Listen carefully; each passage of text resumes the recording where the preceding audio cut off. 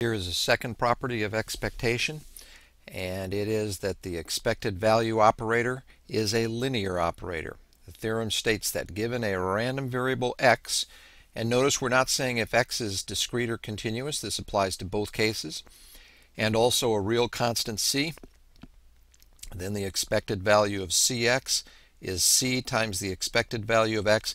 Basically what it's saying is that this constant c can be pulled out front of the expectation. Here is the proof. As before, we're going to do this in the continuous case only. You should think a little bit about what would happen for a discrete random variable x replacing these summations, I'm sorry, replacing these integrals by summations.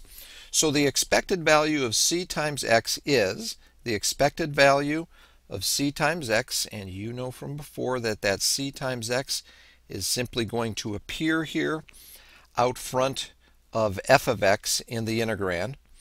Because we are doing this generally, we have our support running from minus infinity to infinity, so that will cover the entire support script A dx. Notice that the c does not involve x, so it can be brought out front.